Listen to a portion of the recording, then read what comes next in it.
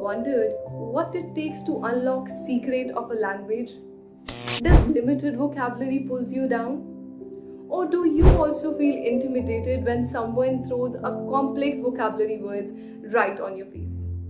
Well, if answer to all this question is yes, then need not to worry. We have got you covered.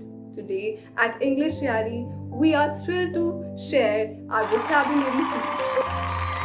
Over the next few weeks, we will explore the magical realms of words, uncover their hidden meaning, and explore beyond our imagination. It's time for you to spark your curiosity and ignite your love through words. We'll see you in our series together. Have a great day.